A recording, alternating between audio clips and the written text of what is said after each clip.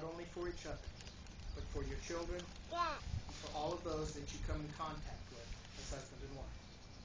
So that your children, your family, and those that you do come in contact with might grow to be faithful, godly Christians in their own relationship to God. We looked at the relationship between a husband and a wife as used by God through Paul to illustrate the relationship of Christ and the church in Ephesians chapter 5, where Paul writes, Wives, be subject to your own husbands, as to the Lord. For the husband is the head of the wife, as Christ also is the head of the church, he himself being the Savior of the body. But as the church is subject to Christ, so also the wives ought to be to their husbands in everything. Husbands, love your wives just as Christ loved the church and gave himself for her, so that he might sanctify her, having cleansed her by the washing of water with the word, that he might present to himself the church in all her glory, having no spot or wrinkle or any such thing, but that she should be holy and blameless. So husbands ought also to love their wives as their own bodies. He who loves his own loves pardon, he who loves his own wife loves himself. For no one ever hated his own flesh, but nourishes and cherishes it, just as Christ also does the church, because we are members of his body.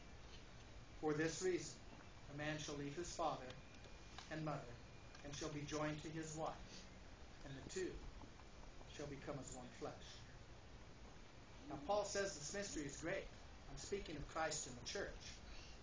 But nevertheless, each individual among you also is to love his own wife even as himself, and the wife must see to it that she respects the husband.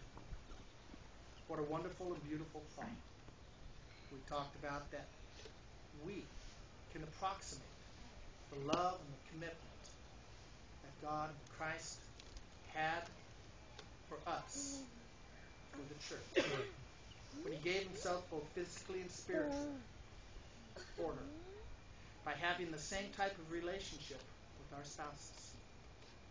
You showed that you understood what God wants from his children in their marriages spirituality, strength, consistency, loyalty, honesty, love.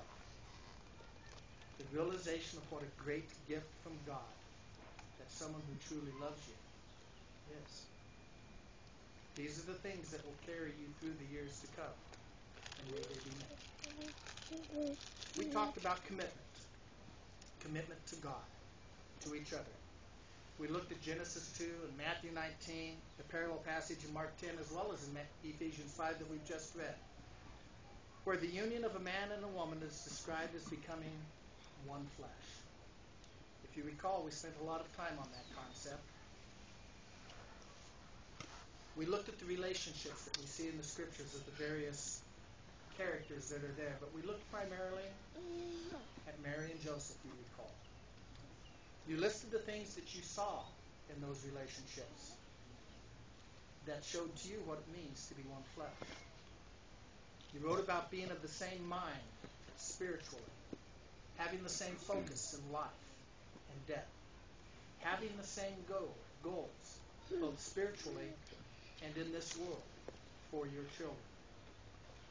Then we looked over Ruth, where Ruth says, Do not urge me to leave you or turn back from following you. For where you go, I will go. Where you lodge, I will lodge.